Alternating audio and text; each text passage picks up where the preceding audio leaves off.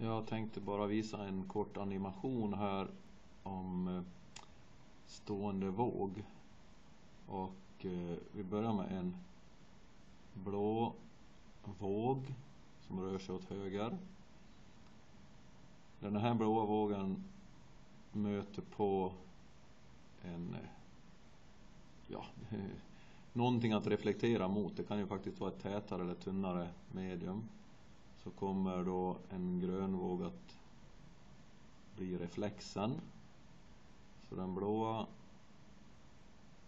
åt höger kommer då att möta en grön eh, som går åt höger, eh, den gröna som går åt vänster.